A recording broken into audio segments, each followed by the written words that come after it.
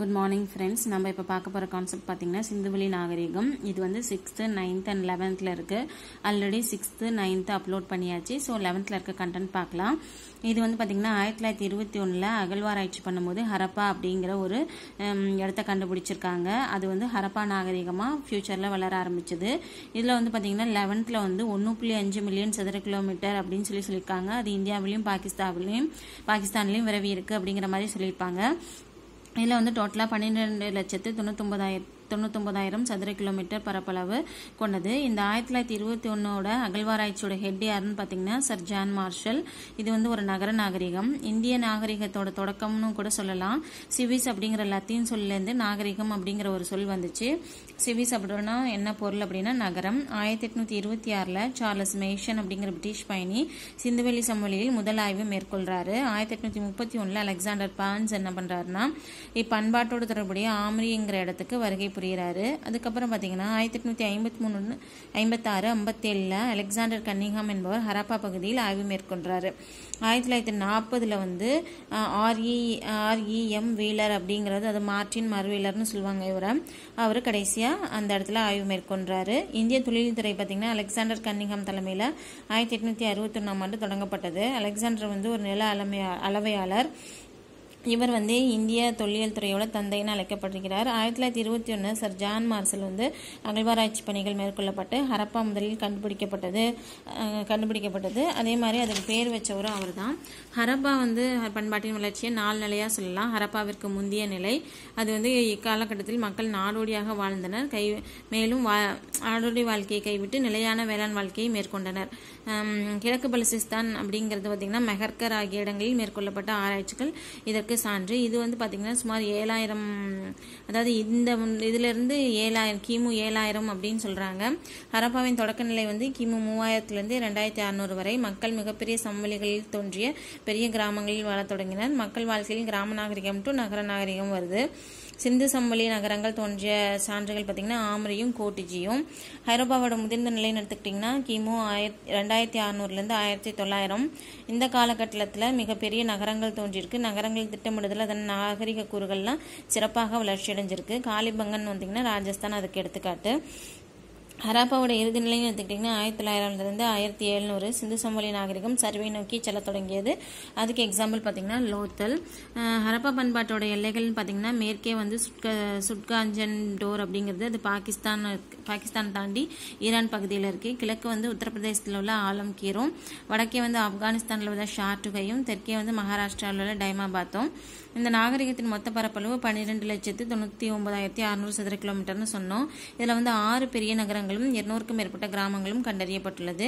இந்தியாவில் இந்த நாகரிகம் மகாராஷ்டிரா உத்தரப்பிரதேஷ் குஜராத் ராஜஸ்தான் பஞ்சாப் ஹரியானா ஆகிய மாநிலங்களில் பரவி காணப்படுகிறது. இந்தியாவில் உள்ள ஹராப்பா நாகரிக பகுதின்னு எடுத்துக்கிட்டிங்கன்னா காலிபங்கன் லோத்தல் ராக்கி ராக்கிர்காக்கி தோ தோலவிரா மட்டும். கால அளவு பற்றி பேசுனீங்கன்னு சொன்னீங்கன்னு பார்த்தீங்கன்னா சர் ஜான் மார்ஷல் அப்படிங்கிறவர் வந்து இதோட கால அளவு வந்து கிமு மூவாயிரத்தி இரநூத்தி ஐம்பதுலேருந்து ரெண்டாயிரத்தி எழுநூற்றி ஐம்பதுன்னு சொல்கிறாங்க மேக்ஸிமம் எல்லாரும் இதை தான் அக்செப்ட் பண்ணிக்கிட்டாங்க. அதே மாதிரி டிபி அகர்வால் அப்படிங்கிறவர் சொல்லியிருக்காரு. மார்டின் மால்வீலர் உம், பெசர்வஸ் அப்படிங்கிறவங்களாம் சொல்லியிருக்காங்க. இந்த நாகரிகம் வந்து செம்பு காலம் அல்லது சால்கலத்தி காலத்தைச் சேர்ந்தது. இது ஒரு நகர நாகரிகம். இப்போ வேத காலம்னு எடுத்துக்கிட்டிங்கன்னா அது வந்து இரும்பு காலம். நம்ம சங்க காலம் அப்படிங்கிறத எடுத்துக்கிட்டிங்கன்னா இரும்பு காலத்தோட தொடர்ச்சி தான் நம்மளோட சங்க காலம். இது ஒரு நகர நாகரிகம். இது ஒரு தாய்வழியை பின்பற்றினாங்க. ஆயிரம் நாலாயிரத்தி எழுநூறு அல்லது ஐயாயிரம் ஆண்டுகளுக்கு தொன்மையானது. சரி இவங்களோட எழுத்து முறை பார்த்தீங்கன்னா சித்திரை எழுத்து இது பிக்டோகிராஃபின்னு சொல்கிறாங்க குதிரை பற்றி உங்களுக்கு தெரியாது இரும்பு தெரியும். கோதுமை பார்லி ஆகியவற்றை முக்கிய விளைபொருளாக பயன்படுத்தினர். பருத்தி நெல் ஆகியவற்றை முதன் முதலில் விளைவித்தனர். அதே மாதிரி பெண் தெய்வம் தாய் கடவுள் ஆண் கடவுள் வந்து பசுபதி அப்படிங்கிற சிவனும். சுற்ற களிமலான உருவச்சிலை செய்யும் கலைக்கு பேர் என்னன்னா டெரகோட்டா. சமூகத்தில் சாதி என்னும் உடன்கட்டை ஏறும் வழக்கத்தில் இது கிடையாது. இறந்தவர்களை புதைக்கும் வழக்கம் இருந்துச்சு.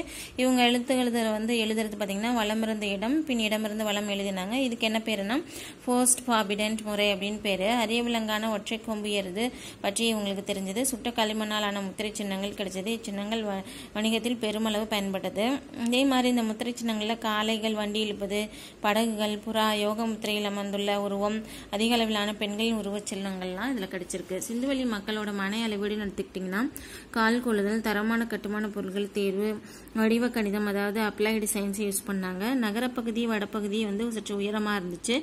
கிழக்கு பகுதி விரிந்தும் தாழ்ந்தும் பாது பாதுகாப்பு கருதி வடிவமை- வடிவமைக்கப்பட்டது. பசுபதிங்கிற சிவன்ற உருவம் யோகமுத்திரையில மூன்று முகங்களுடன் இரண்டு கொம்புகள் உடைய உடன் அமர்ந்த நிலையில் முத்திரை சின்னங்கள்லாம் கிடைச்சது. மேலும் இவரை சுற்றி யானை புலி எருது நீர் யானை விலங்குகளும் காலடியில் ரெண்டு மானும் இருக்கிற மாதிரி வச்சிருந்தாங்க. நீராஸ் பாதிரியார் அஸ்லோ பார்ப்லோ ஐராவத மகாதேவன் இவங்க எல்லாம் என்ன பண்ணாங்க அப்படின்னா சிந்துவெளி சம்மொழி மக்களோட எழுத்து மொழியும் திராவிட மொழியோட திராவிட மொழி அப்படின்னு சொல்லி சொன்னாங்க. திராவிட மொழியான தமிழ்னே சொன்னாங்க.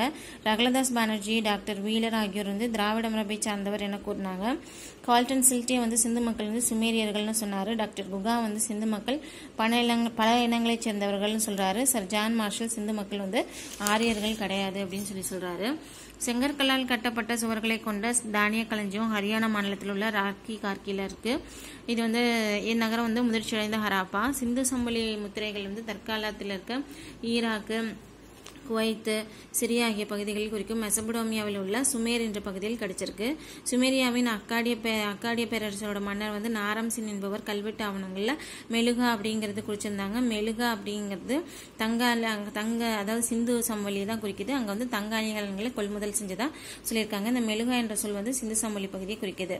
மேலும் சுமேரியாவின் யூனிஃபார்ம் கல்வெட்டு ஆவணங்களில் குறிப்பிட்டுள்ள ஹாஜா பறவை அதாவது மயில் அது வந்து இந்திய இனத்தை சேர்ந்தது அதையும் குறிப்பிட்டிருக்காங்க.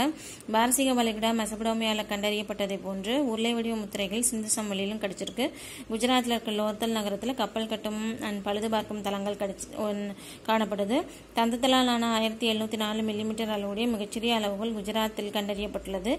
இதே மாதிரி கேவிடி அப்படின்னு சொல்லுவாங்க ஆர்கியாலஜிக் டிபார்ட்மெண்ட்டில் வந்து பாலகிருஷ்ணன் ஐஏஎஸ் அப்படிங்கிறவர் குஜராத் தலைமைச் செயலராக இருந்தபோது இந்த கேவிடி வளாகம் அப்படிங்கிறது இது பண்ணார். பாகிஸ்தானில் இன்றைக்கும் பார்த்திங்கன்னா கொர்க்கை வஞ்சி தொண்டி மத்திரை உரை கூடல் ஆகிய பேரில் ஊர்கள்லாம் இருக்குது இதனை கேவிடி தொல்லியல் வளாகம் அப்படின்னு சொல்லி அழைப்பாங்க. ஆப்கானில் வந்து ஆறுகளோட பெயர்கள் பார்த்திங்கன்னா காவிரி பொருன்சு பொருணை முதலிய முழுமையான தமிழ் சொற்களில் பெயரிடப்பட்டு அழைக்கப்படுகிறது. சுண்ணா சுடுமண்ணால் செய்யப்பட்ட பல்வேறு வகையான பொம்மைகள் வந்து விளையாட்டு பொருள்கள் எல்லாமே அது வந்து சுடுமணால் செஞ்சுருக்காங்க. அணிகலன்கள் செய்ய சிவப்பு நிற மணிகர்கள் கார்னிலியன்னு சொல்லுவாங்க அது. நன்கு திட்டமிடப்பட்ட நகரம் சரியான கோணங்களில் ஒன்றுக்கொன்று வெட்டுகின்ற அகலமான சாலைகள் மூடப்பட்ட கால்வாய் எல்லாமே வந்து சூப்பரான ஒரு நகர நாகரிகத்தை எடுத்து சொன்னுச்சு. முகஞ்சதாரோவில் இருக்க ஆணின் சிலை வந்து பூசாரி அரசன் என்று அடையாளப்படுத்தப்படுகிறது. நெக்ஸ்ட் பார்த்தீங்க அப்படின்னா இங்கே இரட்டை சாகுபடி முறை பின்பற்றினாங்க. கால்நடைகளை வளர்த்துருக்காங்க. ஹராப்பால மாடுகளுக்கு பேர் ஜெபு. சிந்து சமவெளி முத்திரைகளில் இவ்வகை பெரிய மாட்டு இனங்கள் காணப்படுகிறது. மெழுகு அச்சில் உலோகத்தை உருக்கி சிலை வார்க்கும் தொழில்நுட்பமும் இவங்களுக்கு தெரிஞ்சிருக்கு. அதே மாதிரி இவங்க பைனரி நம்பர்ஸை யூஸ் பண்ணியிருக்காங்க அதாவது ஈரடிமான எண். கனசதுர வடிவ இடைக்கற்கள் பயன்படுத்தியிருக்காங்க one is to two is to four is to eight is to eighteen sixteen is to thirty two அப்படிங்கிற இரண்டின் மடங்கள் தான் யூஸ் பண்ணியிருக்காங்க அரச மரத்தை வழிபட்டிருக்காங்க. ரோரிசெட் அப்படிங்கிற படிகக்கரில் கத்திகள் செய்ய பயன்படுத்திருக்காங்க. இந்த படிகை கற்கள் பாகிஸ்தானில் உள்ள ரோரி என்ற இடத்துல கிடைச்சிருக்கு. உழவுக்கு கலப்பையை பயன்படுத்துறாங்க. சங்கு வந்து நாகேஸ்வர் பால்கோட்லையும் வைடூரியம் லேபிஸ் லூயிஸ் வந்து சார்ட்டுகை அண்ட் சிவக்குமணி வந்து லோத்தல்லையும் சுண்ணாம்புக்கல் தெற்கு ராஜஸ்தான்லையும் செம்பு ராஜஸ்தான் அண்ட் ஓமான்லையும் வெள்ளி வந்து ஆப்கான் ஆப்கானிஸ்தான் ஈரான் ஈரான்லையும் தங்கம் வந்து வடக்கு கர்நாடகாவிலையும் கிடைச்சிருக்கு. ஓகேங்களா? அடுத்து பார்த்தீங்கன்னா ஹரப்பா. ஹரப்பா வந்து புதையுண்ட நகரம்னு சொல்கிறாங்க இது வந்து ஆயிரத்தி தொள்ளாயிரத்தி இருபத்தொன்னில் தயாராம் சகாரா சஹானி அப்படிங்கிறவர் கண்டுபிடிக்கிறாரு. இது வந்து பஞ்சாப் மாகாணம் ராவி ஆற்றங்கரையில் மாண்ட் குமாரி அப்படிங்கிற இடத்துல இருக்குது இங்கே வந்து ஆறு தானிய களஞ்சிய களஞ்சியங்கள் இரு வரிசையில் அமைக்கப்பட்ட நிலையில் கண்டறியப்பட்டுள்ளது. இந்த நகரங்களில் பார்த்தீங்கன்னா சி தேர்ட்டி செவன் ஹெச் வடிவில் அமைந்த இடுகாடுகள் கண்டறியப்பட்டுள்ளது. நகரங்களில் நாய் ஒன்று மானை துரத்துவது போன்ற வெண்கல சிற்பம் இருக்குது ஹரப்பா நாகரிகம் வந்து இரண்டாவது பெரிய நாகரிகம். அப்போ முத வந்து மொ- மொஹஞ்சதாரோ ஹரப்பா நாகரிகம் என்ற பெயரை உருவாக்கியவர் வந்து சர்ஜான் மார்சல். நெக்ஸ்ட் பார்த்தீங்கன்னா மொகஞ்சதாரோ மொகஞ்சதாரோ என்ற சிந்து மொழி சொல்லுக்கு இடுகாட்டு மேடுன்னு பேர் இறந்தவர் மேடு. ஆயிரத்தி தொள்ளாயிரத்தி இருபத்தி ரெண்டில் ஆர்டி பானர்ஜி இந்த நகரை கண்டுபிடிக்கிறாரு. இந்த நகரம் பாகிஸ்தானோட சிந்து மாகாணம் சிந்து நதிக்கரையில் லர்கானா மாவட்டத்தில் இருக்குது மொகஞ்சதாரோ வந்து பெரிய நாகரிகம். நாகரிகத்திலே இந்த ஆறு நகரங்களிலே மிகப்பெரியது இதுதான். இது நகர அமைப்பில் மூன்று நிலைகளிலும் உள்ள கொண்டது. உயர்ந்த கோட்டை பகுதி சிற்றாடல் தாழ்ந்த நகர பகுதி ஊருக்கு வெளியே அமைந்த குடிசை பகுதி. கோட்டையில் வந்து ஆட்சியாளர் செல்வந்தர் மூன்று இருந்தன. அதில் வந்து மூன்று முக்கிய கட்டிடங்கள் கண்டுபிடிக்கப்பட்டது என்னென்னா தானிய களஞ்சியம் நகரமன்றம் பெருங்குளங்கள்லாம் சிந்து நாகரிகத்தோட அதிக சிறப்பு வாய்ந்த பொது இடம்னு பார்த்தீங்க அப்படின்னா பெருங்குளம். பெருங்குளத்தில் நீர் கசியாமல் இருக்க ஜிப்சம் அல்லது மெழுகு பூசப்பட்ட சுடப்பட்ட செங்கற்கல்கள் யூஸ் பண்ணியிருக்காங்க வெண்கலத்திலான நடனமாடும் நாட்டிய மங்கை சிலையும் வெண்கல போர் வாள் சுண்ணாம்புக்கல்லினாலான தாடியுடன் கூடிய ஆணோட உருவ சிலை அதாவது பூசாரி அரசன் சொல்றது. பத்தியாலான துணியை அரைஞ்சிருக்காங்க வெட்டுக்காயங்களுடன் கூடிய எலும்புக்கூடு பசுபதி என்னும் சிவனின் முத்திரை கிடைச்சிருக்கு. ஹராப்பாவும் மொகஞ்சதரம் திட்டமிட்டு கட்டப்பட்ட இரட்டை தில நகரங்கள். காலிபங்கன் பார்த்தீங்கன்னா ராஜஸ்தானில் இருக்குது இதோட பொருள் கருப்பு வளையல். ஆயிரத்தி தொள்ளாயிரத்தி ஐம்பத்தி மூணில் கோஸ் கண்டுபிடிச்சாரு. ராஜஸ்தான் வந்து கங்காநகர் மாவட்டம் காகர் காக்ரா நதிக்கரையில் அமைஞ்சிருக்கு. நெருப்பு குண்டங்கள் கண்டறியப்பட்டுள்ளது. உழவு செய்யப்பட்ட நிலங்கள் கண்டுபிடிக்கப்பட்டிருக்கு. அண்ட் லோத்தல் எடுத்துக்கிட்டிங்க அப்படின்னா லோத்தல என்ற சொல்லின் சொல்லுக்கு வந்து குஜராத் மொழியில் பொருள் பொருள் என்னென்னா இறந்தவர் மேடு. ஆயிரத்தி தொள்ளாயிரத்தி ஐம்பத்தி ஏழில் எஸ் ஆர் ராவ் என்பவர் கண்டுபிடிச்சாரு.